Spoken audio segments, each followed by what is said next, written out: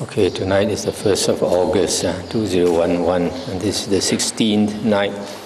We're talking on the Digha Nikaya Suttas. Uh, now we come to Sutta number 21, Sakkapanha Sutta. Uh, this is about Sakka Devaraja who came to ask questions uh, from, uh, to the Buddha. Uh, thus have I heard, once the Lord was staying in Magadha to the east of Rajagaha by a Brahmin village called Ambasanda to the north of the village on Mount Vedia in the Indasala cave.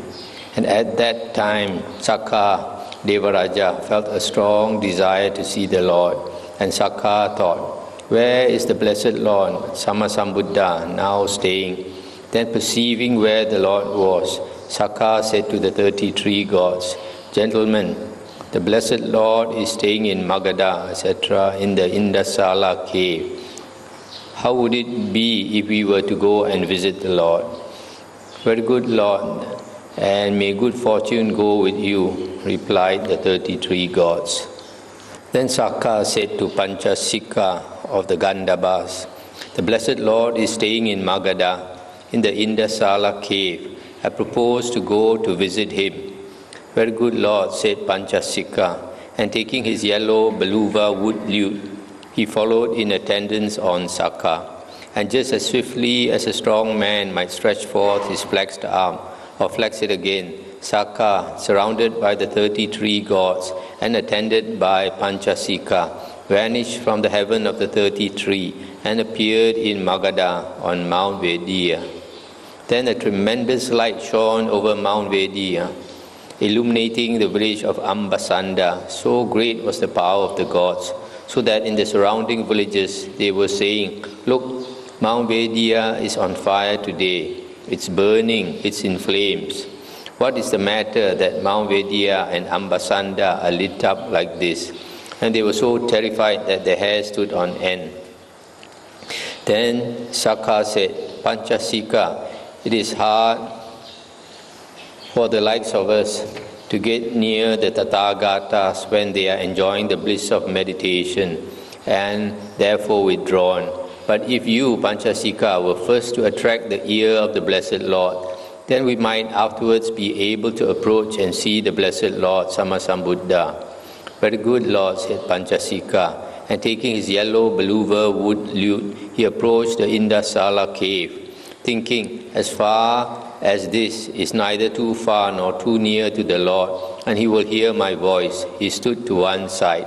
Then, to the strains of his lute, he sang these verses extolling the Buddha, the Dhamma, the Arahants, and love. He said, Lady, your father Timbaru greet, O sunshine fair, I give him honor due. By whom was I a maid as fair as you, who are the cause of all my heart's delight? Delightful as the breeze uh, to one who sweats, or as a cooling draught to one who thirsts. Your radiant beauty is to me as dear as the Dhamma is to the Arahants. Just as medicine to him who's ill, or nourishment to one who's starving still. Bring me, gracious lady, sweet release with water cooled from my consuming flames. The elephant, oppressed by summer heat, seeks out a lotus pool upon which float petals and pollen of that flower.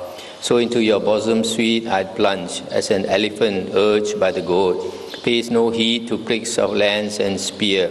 So I, unheeding, know not what I do, intoxicated by your beauteous form.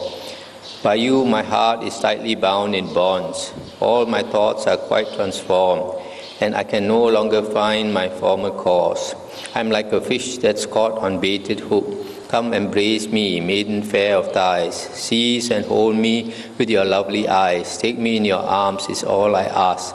My desire was slight at first, O maid, of waving tresses, but it grew apace, as grow the gifts that Arahants receive.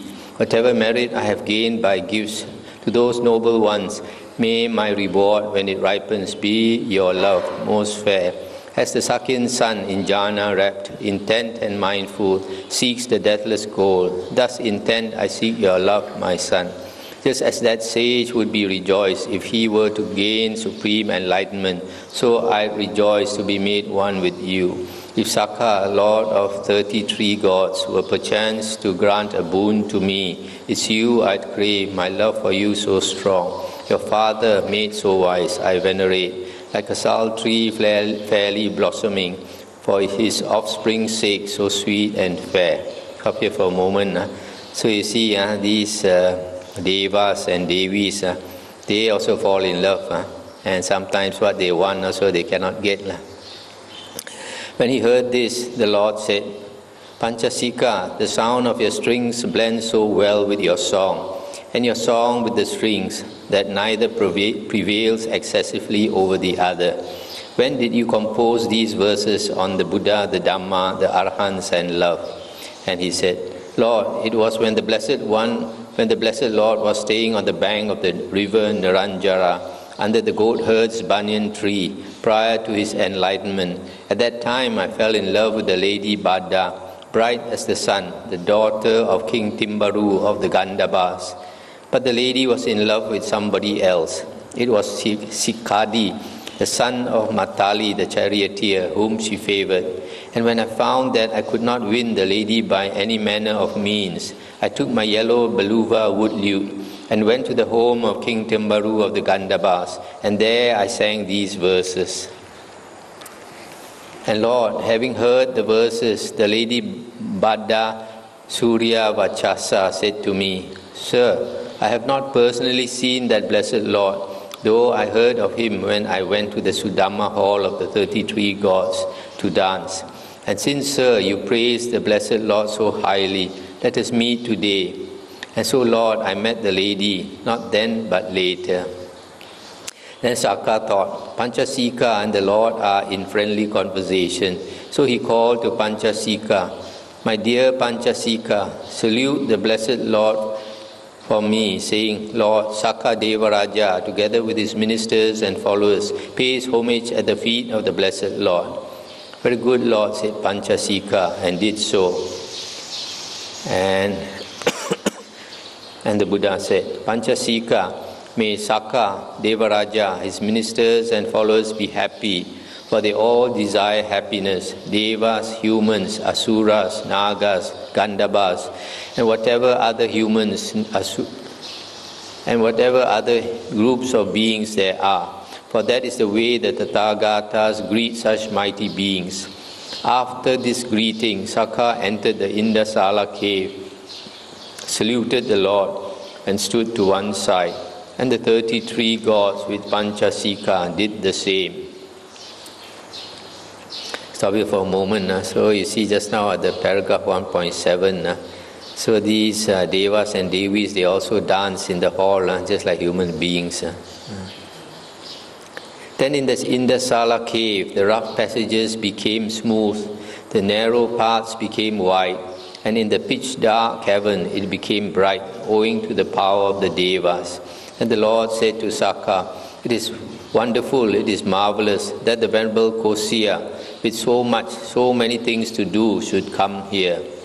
And Sakadevaraja said, Lord, I have long wished to visit the Blessed Lord, but I have always been so busy on behalf of the 33 that I was unable to come. Once the Blessed Lord was staying at Savatthi in the Salala hut, and I went to Savatthi to see the Lord. Stop here for a moment. So you see Sakka Devaraja being the Devaraja, king of the Devas. Uh, he's also got a lot of responsibilities, uh, very busy, uh, just like human beings. At that time, the Blessed Lord was seated in some form of meditation, and King Vesavana's wife, Bhunjati, was waiting on him venerating him with palms together.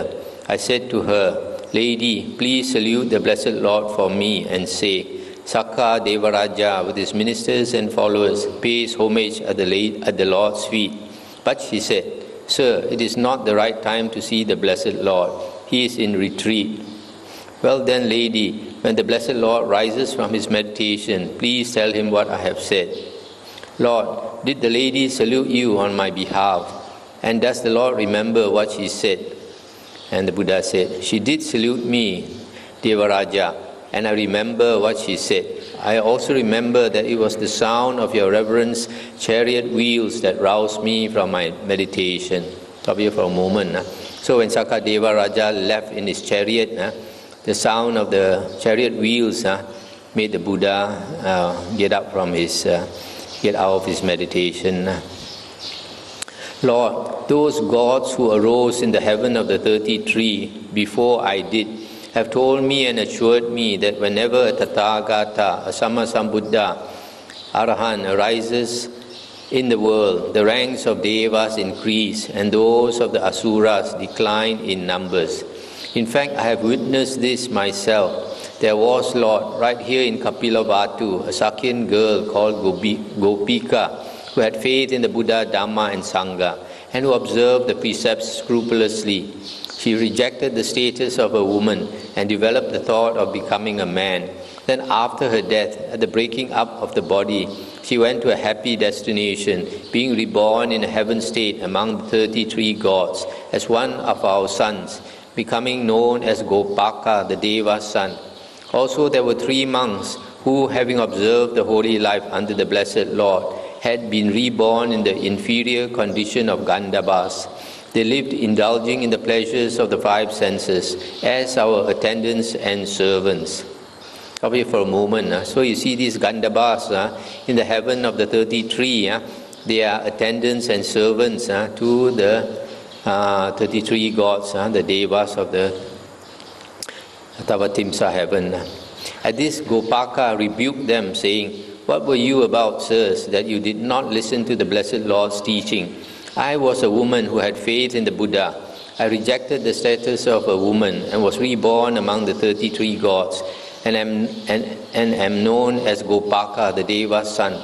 But you, after having observed the holy life under the Blessed Lord, have been reborn in the inferior condition of Gandhabbas. It is a sorry sight for us to see our fellows in the Dhamma reborn in the inferior condition of Gandhabbas. And being thus rebuked, two of the Devas immediately developed mindfulness and so attained to the realm of, of the retinue of Brahma. But one of them remained addicted to sensual pleasures. Stop here for a moment.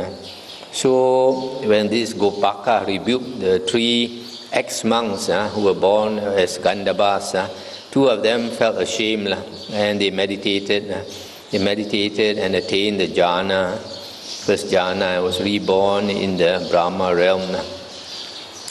But the, the, the other one, uh, he was enjoying life as a Gandhabba, sensual pleasures, uh, so he refused to practice sadhana. Gopaka spoke. Disciple once of him who sees, the name I bore then, Gopika, in Buddha Dhamma, firmly trusting, I serve the Sangha cheerfully. For loyal service paid to him, see me now, a Saka son, Sakyaputta, mighty in the threefold heaven, resplendent, Gopaka my name. Then former monks I saw who had reached no higher than Gandhabba's rank, who before had human birth and led the life the Buddha taught. We supplied them food and drink and waited on them in our homes. Had they no ears that they thus bless, still could not grasp the Buddha's Dhamma. Easy for himself, each for himself must understand that Dhamma taught by him who sees and well proclaimed. I, serving you, heard the noble one's good words, and so I am born, a Saka son, mighty in the threefold heaven, and resplendent, whereas you, though you serve the Prince of Men and led the matchless life he taught, have reappeared in humble state and not attain your proper rank. A sorry sight it is to see our one's fellow, one's Dhamma fellow sunk so low that Gandhabba spirits, you must, you but come to wait upon the gods, while as for me, I am transformed from household life and female I am now reborn a male, a god, rejoicing in celestial bliss. Here for a moment. Huh? So here you see, huh? He rebuked them. He said, had they no ears that they thus blessed, still could not grasp the Buddha's Dhamma.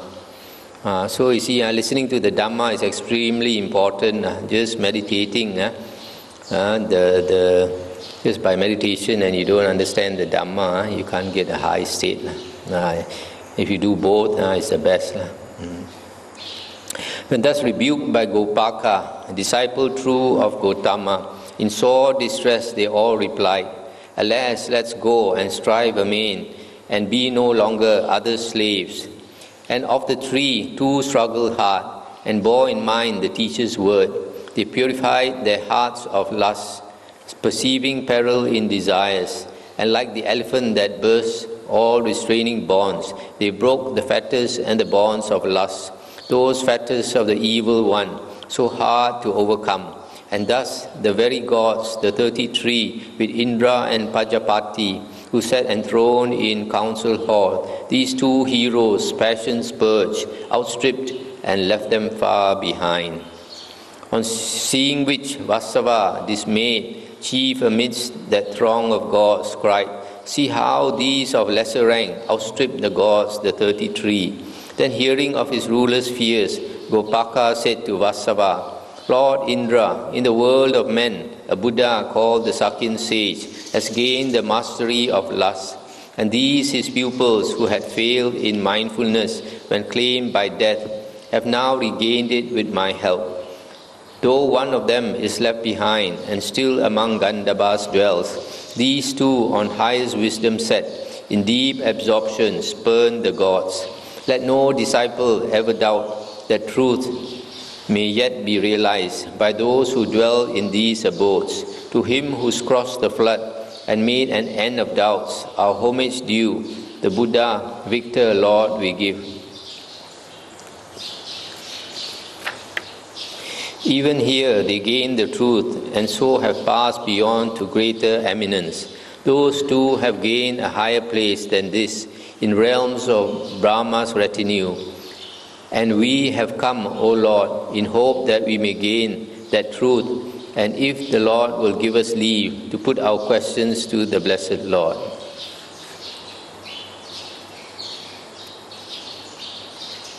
So you see, uh, these uh, two devas, uh, they practice hard in their meditation uh, and they gave up this uh, lust. Uh, in the heavens, it's very difficult to give up lust, sensual pleasures, ah, because there's so much sensual pleasures. Ah.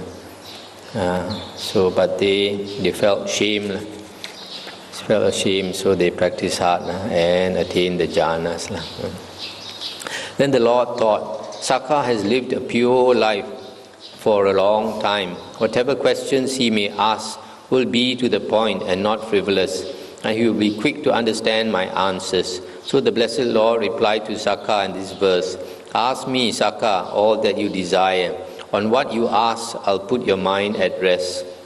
Being thus invited, Sakka Devaraja put his first question to the Lord By what fetters, sir, are beings bound? gods, humans, asuras, nagas, gandhabbas, and whatever other kinds there may be, whereby, although they wish to live without hate, harming, hostility, or malignity, and in peace, yet they live in hate, harming one another, hostile and malign. This was Sakka's first question to the Lord, and the Lord replied, Ruler of the gods, it is the bonds of jealousy and avarice, Issa Macchariya, that bind beings so that though they wish to live without hate, they yet live in hate, harming one another. Hostile and malign, this was the Lord's reply. And Sakka, delighted, exclaimed, So it is, Lord, so it is, welfarer. Through the Lord's answer, I have overcome my doubt and got rid of uncertainty. Stop here for a moment. Huh? So, Sakka Devaraja says, lah, most beings, huh, we want peace, lah, we don't want to fight and quarrel with each other. And yet we do. Ah. Why? And then the Buddha said, because of greed and jealousy. Because of greed, we want this, we want that. And when we see that other people have more than us, we are jealous. Uh, this is quite obvious ah, in the world. Ah. You can see all around you. People are greedy. And uh, when they have less than what you have, they are jealous of you and try to harm you in some way. Hmm. Then Sakka, having expressed his appreciation, asked another question But, sir, what gives rise to jealousy and avarice? What is their origin? How are they born? How do they arise? Owing to the presence of what do they arise? Owing to the absence of what do they not arise? And Buddha said, Jealousy and avarice, Devaraja, take rise from like and dislike. This is their origin. This is how they are born, how they arise. When these are present, they arise. When these are absent, they do not arise. Uh, so it's because of liking and disliking uh, that uh, this uh, desire arises, and, and when you cannot get what you want, then there is dislike and there is jealousy. Uh, this uh, like is piya, dislike is appiya. But, sir, what gives rise to like and dislike? And the Buddha said, owing to the presence, uh, no, he continued, what gives rise to like and dislike? Owing to the presence of what do they arise? Owing to the absence of what do they not arise? And the Buddha said, they arise, Devaraja, from desire. Owing to the presence of desire, Chanda, they arise. Owing to the absence of desire, they do not arise. And then again he asked, But sir, what gives rise to desire? And the Buddha said, Desire, Devaraja, arises from thinking, vitakka. When the mind thinks about something, desire arises. When the mind thinks about nothing, desire does not arise. But, sir, what gives rise to thinking? Thinking, Devaraja, arises from the tendency to proliferation, papancha. When this tendency is present, thinking arises. When it is absent, thinking does not arise. And he asked, Well, sir, what practice has that monk undertaken who has reached the right way, which is needful and leading to the cessation of the tendency to proliferation? And the Buddha said, Devaraja, I declare there are two kinds of happiness the kind to be pursued and the kind to be avoided. The same applies to unhappiness and equanimity. Why have I declared this in regard to happiness? This is how I understood happiness. When I observed that in the pursuit of such happiness, unwholesome factors increased and wholesome factors decreased, then that happiness was to be avoided. But when I observed that in the pursuit of such happiness, unwholesome factors decreased and wholesome ones increased, then that happiness was to be sought after. Now, of such happiness as is accompanied by thinking and pondering, and of that which is not so accompanied, the latter is the more excellent. The same applies to unhappiness and equanimity. And this ruler of the gods, or Devaraja, is the practice that monk has undertaken who has reached the right way, leading to the cessation of the tendency to proliferation. And Sakka expressed his delight at the Lord's answer. Stop here for a moment. Eh? So, the Buddha is saying here that there are two kinds of happiness. One is uh, accompanied by thinking and pondering, lah, which is worldly happiness. Lah. And that which is not accompanied, lah, that happiness which is not accompanied by thinking and pondering lah, is uh, jhana, lah, especially the second jhana, lah, where there is no more vitakka and vichara. Lah. Uh, so, uh, for normal people, the ordinary people, uh, there is this tendency to proliferation because they have not tasted the happiness of jhana. So, not knowing the happiness, the bliss of jhana, they like to think.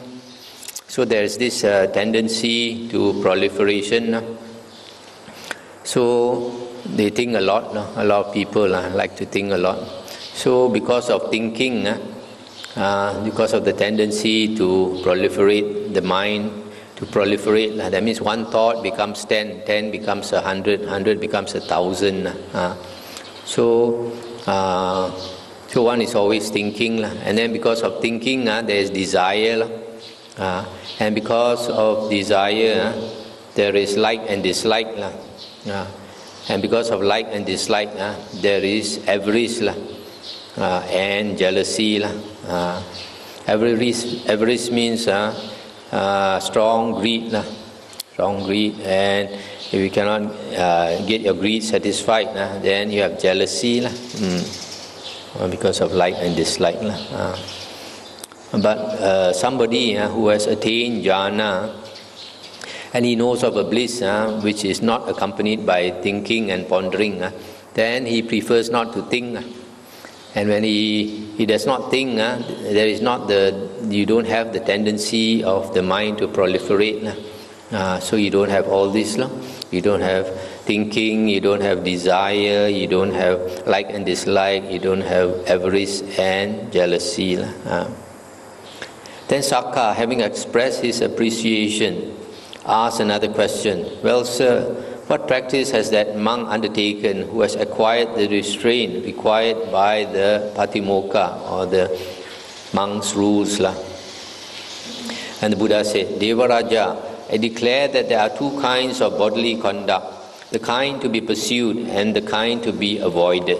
The same applies to conduct of speech and to the pursuit of goals. Why have I declared this in regard to bodily conduct? This is how I understood bodily conduct. When observed that by the performance of certain actions, unwholesome factors increase and wholesome factors decrease, then that form of bodily action was to be avoided.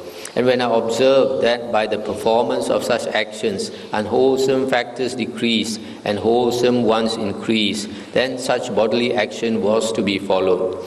That is why I make this distinction. The same applies to conduct of speech and the pursuit of goals.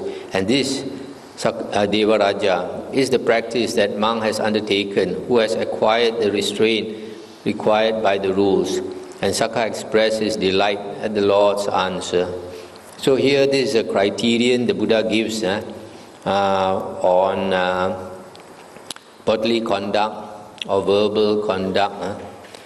Um, and, and the pursuit of goals, whether you, uh, you want something, uh, whether it's good or not for you, uh, it depends on this law. If unwholesome uh, states increase and wholesome states decrease, uh, then uh, it is no good. Uh, it's to be avoided. Uh.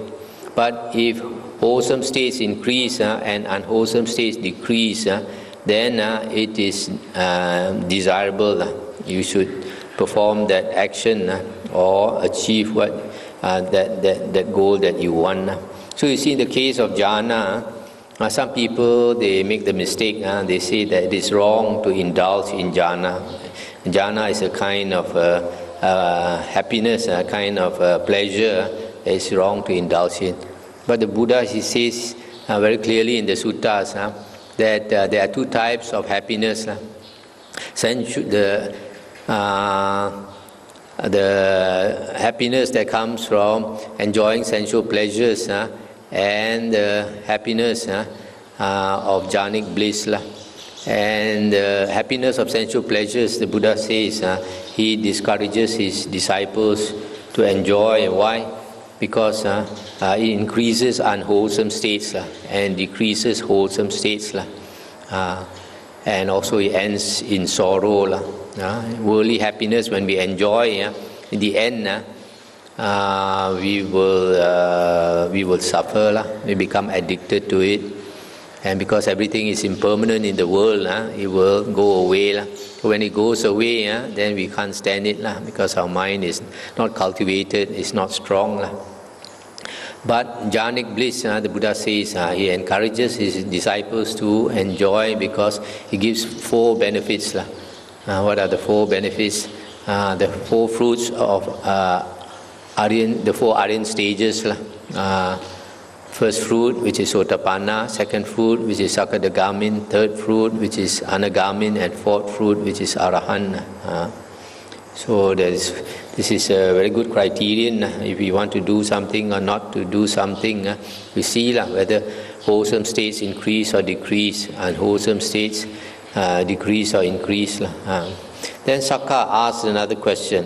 Well, sir, what practice has that monk undertaken who has acquired control of his sense faculties? And the Buddha said, Devaraja, I declare that things perceived by the eye are of two kinds the kind to be pursued and the kind to be avoided. The same applies to things perceived by the ear, the nose, tongue, body, and mind. At this, Sakka said, Lord, I understand in full the true meaning of what the Blessed Lord has outlined in brief. Lord, whatever object perceived by the eye, if its pursuit leads to the increase of unwholesome factors and the decrease of wholesome ones, that is not to be sought after.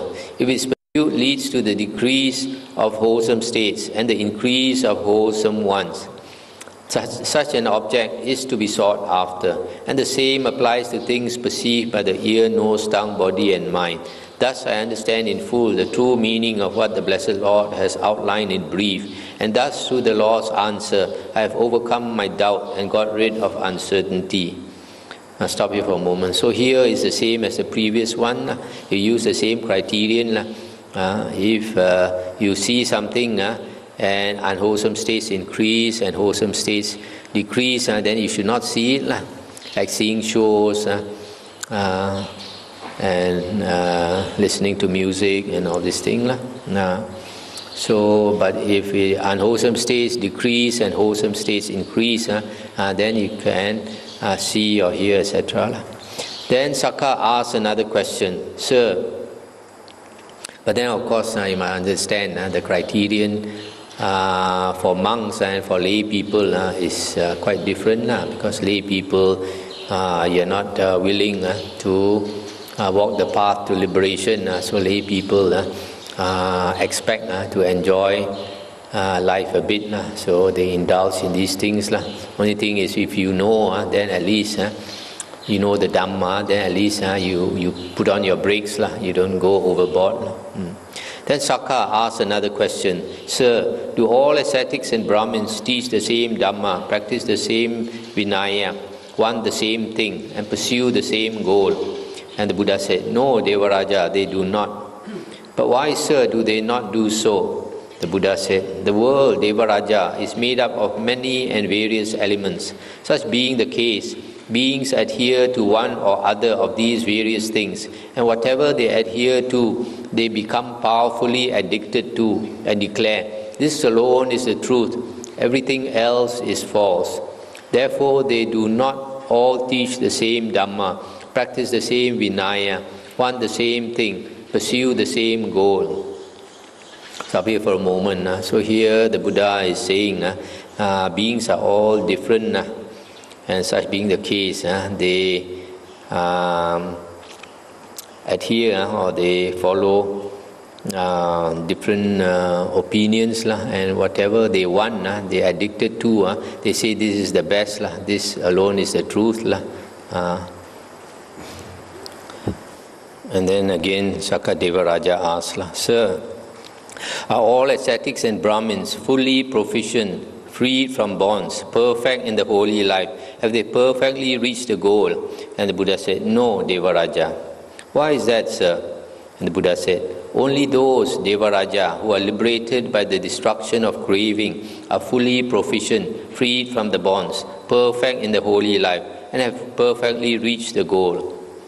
And Sakka rejoiced at the answer as before. Then Sakka said, Passion, sir, is a disease, a boil, a dart.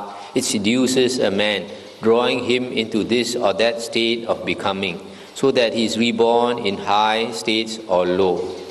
Stop here for a moment. Huh? So you see here, huh? the Buddha says, huh? a person can only be, be liberated or enlightened by destroying craving. Uh,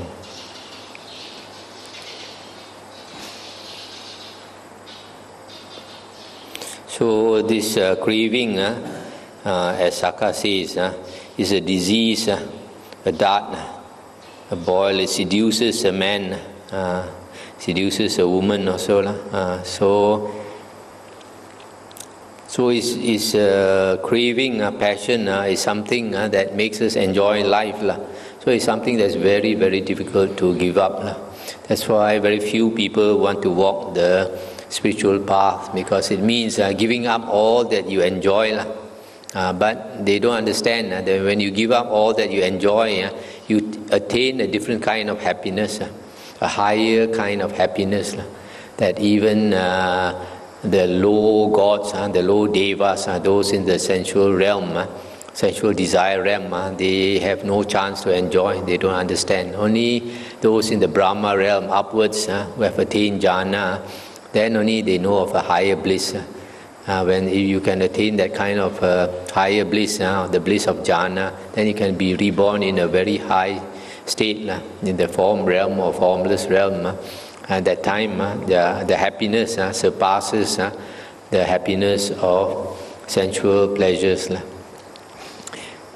And uh, Shakadevaraja continued. Uh, Whereas other ascetics and Brahmins of differing viewpoints gave me no chance to ask these questions, the Lord has instructed me at length and thus removed the doubt, the dart of doubt and uncertainty from me.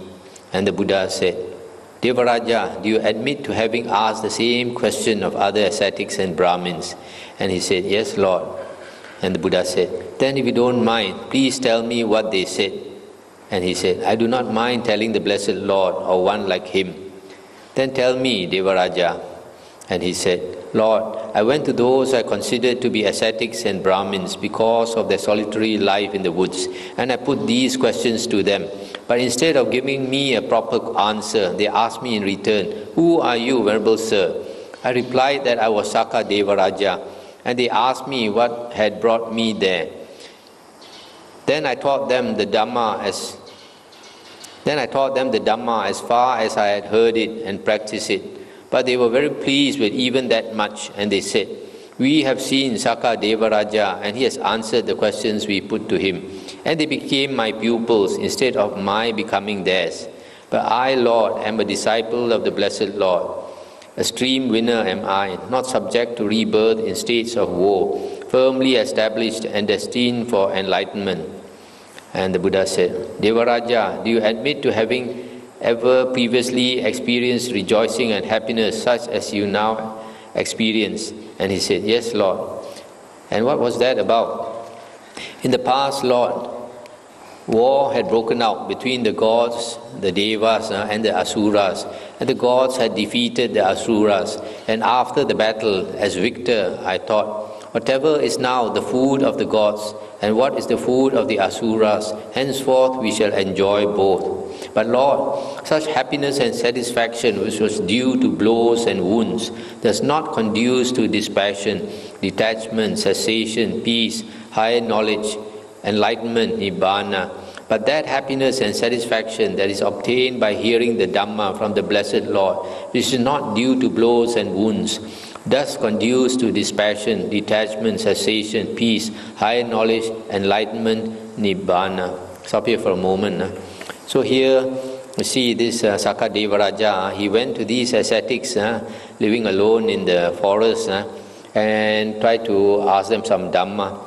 And these people, uh, they, like some, uh, some people, uh, they only want to meditate, uh, they don't want to learn the Dhamma. So uh, they could not uh, teach the Dhamma to Sakadevaraja. And then when Sakadevaraja taught them the Dhamma, they became a disciple of Sakadeva Raja.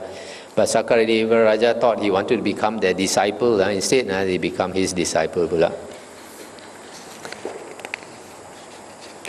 The other thing you notice uh, that these devas and asuras, when they fight, uh, and there are blows and wounds. Uh, so uh, it's not that they are just uh, chasing each other and making a show. Uh, they actually really, uh, really fight. Uh. That's why when they fight, uh, before the fight, uh, they, are, they, they, they can be very scared. Uh.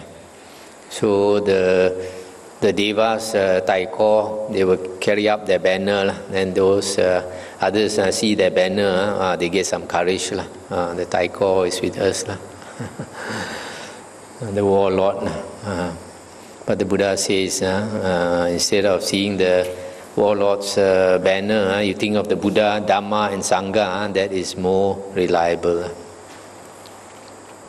And then the Buddha said, And Devaraja, what things do you call to mind when you admit to experiencing such satisfaction and happiness as this?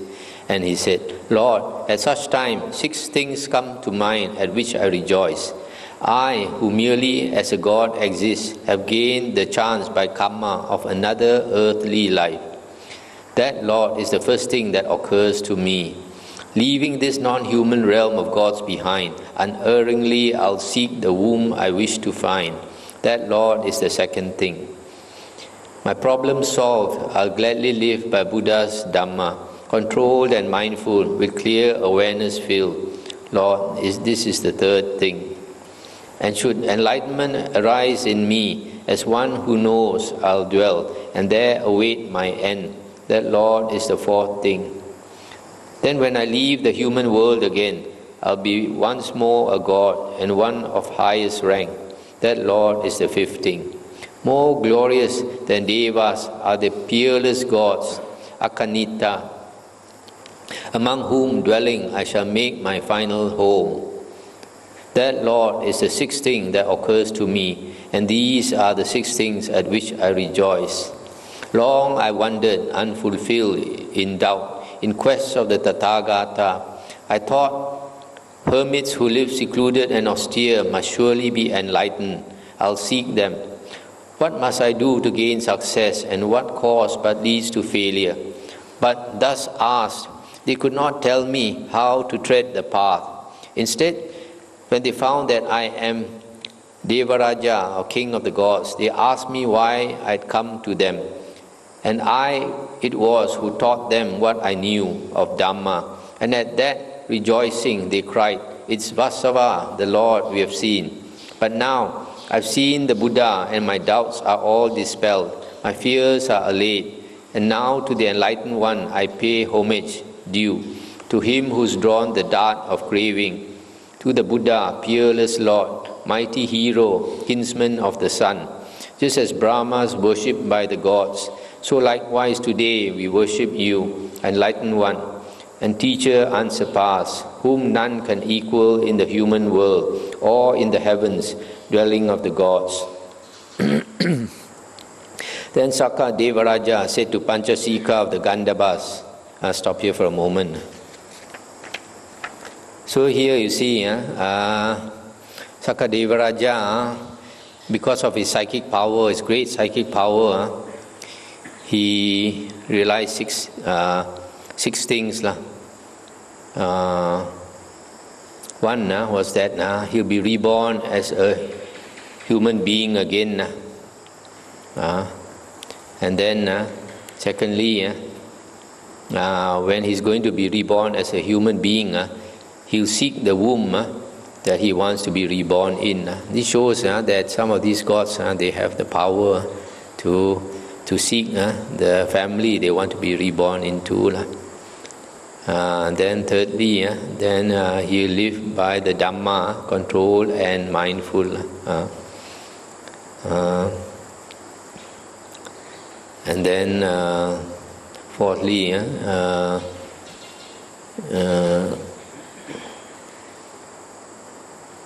should enlightenment arise in me, uh, there I think he will become an anagamin uh, because the fifth thing uh, he says, when I leave the human world again, he'll be a god, one of the highest rank. And then uh, the sixth, uh, that he will be reborn in the Akanittha heaven. This Akanittha is one of the five levels of heaven uh, in the Suddhavasa. Suddhavasa or pure abodes is the heaven where only anagamins, third fruition, Aryas are reborn. Uh, so he could foresee uh, that uh, one day uh, he'll become an anagamin and be, be reborn uh, in the Suddhavasa heavens. Uh.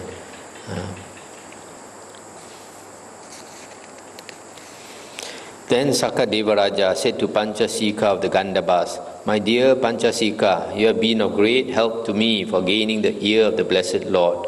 For it was through your gaining his ear that we were admitted to the presence of the Blessed Lord, Arahant Sammasambuddha. I will be a father to you, and you shall be king of the Gandhabbas, and I will give you Bhadda Surya Vachasa, whom you desired.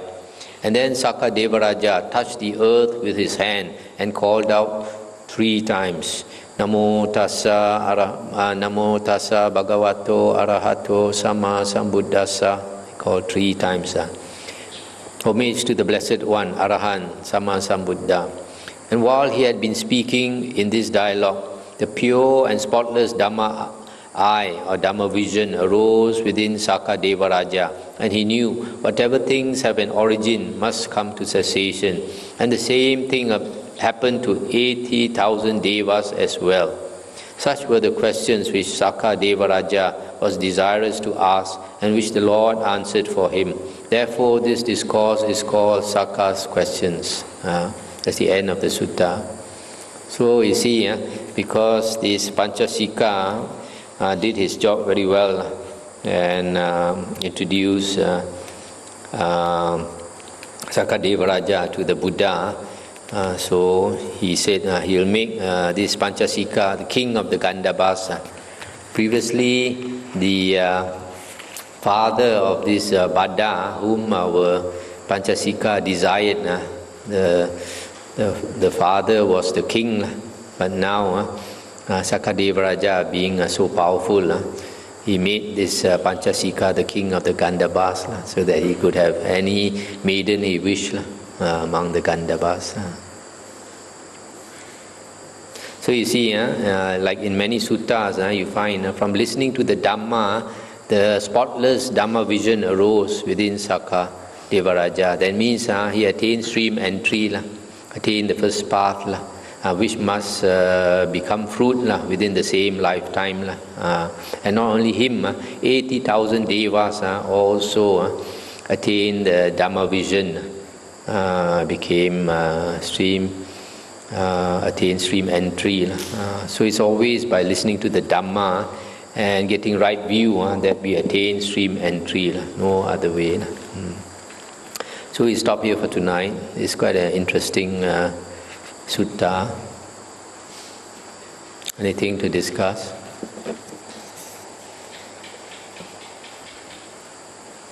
From this sutta, you find uh, uh, life in the heaven of the 33 uh, is a bit like the human realm. Uh, you have uh, dancing in the hall, you have falling in love, and sometimes uh, cannot get the the the the the, the, the your your choice. then you have heartache.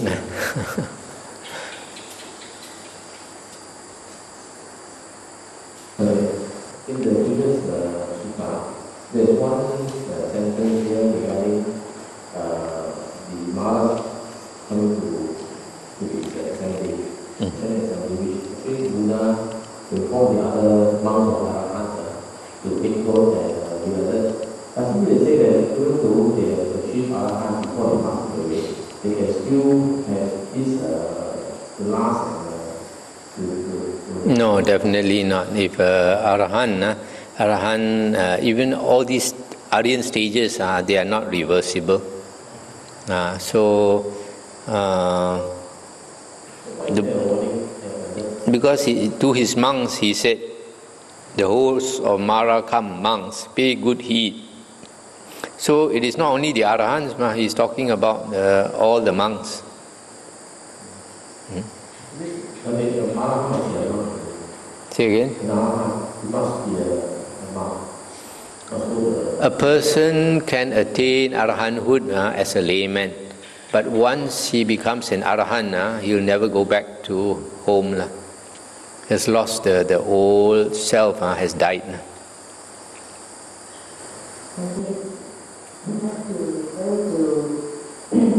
What Gopaka has related page 325. Uh, revealed two devas were born to Buddha's minds, or three, uh, three devas who were uh, born in much lower uh, much lower to. So after that,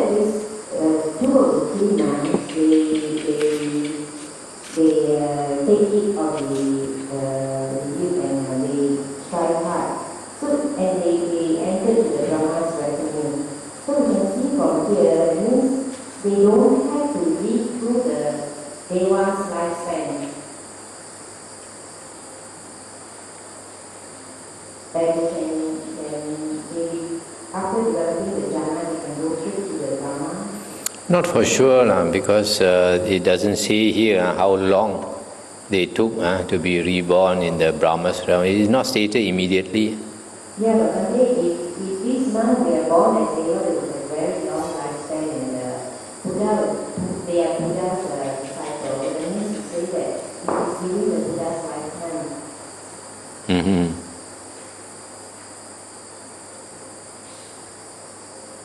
True also.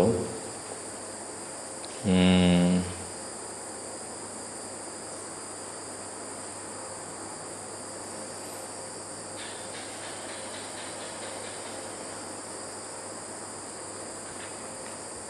Mm, I don't know how to explain this. Maybe when they attain the jhanas, huh, then uh, with their psychic power, huh, they uh, attain the, the, the state of Brahma.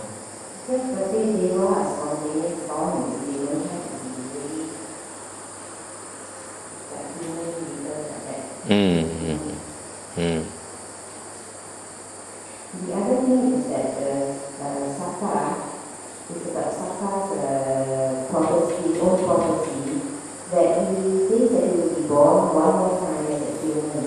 Mm. So when he believes that he is, uh, he, because of the indulgence in sensual pleasure in the deva, he, he needs to be born as a human one more time to attain the jhanas, so that he will be born in a, as a, at least as a Annavan.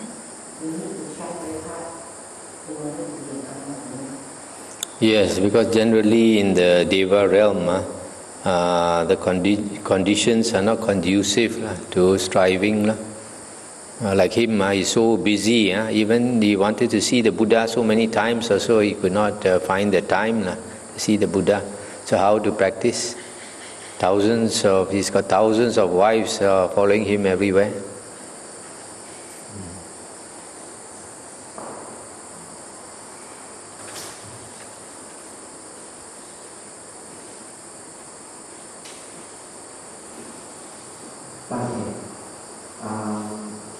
The Sankadeva Vaja can choose um, where to born.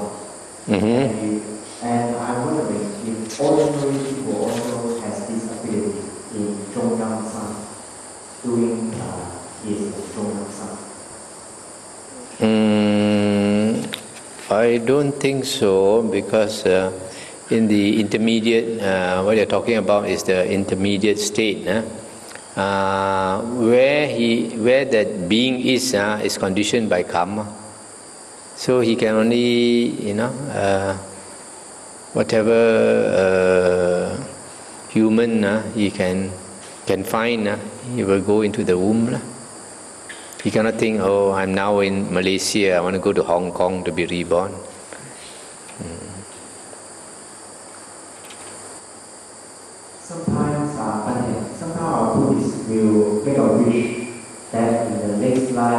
Even though this life I cannot attain uh, any uh, uh, fruit, then maybe next time, in next life, we can meet the Buddha, Dhamma, and Sangha. Uh, so it is not that uh, possible. I don't think so because uh, the Buddha says uh, for a person to be reborn together, four things must be equal. The faith, and then the uh, sila, morality, then the generosity, then the wisdom. Uh, so, for example, if a person thinks uh, he wants to be uh, reborn as a as a Buddhist, lah, uh, but uh, if all these four conditions uh, are not there, uh, then uh, he might not be able to. lah. But if he understands the Dhamma, attains the Dhamma vision, uh, and he become an Arya, then even uh, wherever he's reborn, uh, he will automatically look for the Dhamma. Or if there's no Dhamma, uh, he will by himself practice. lah.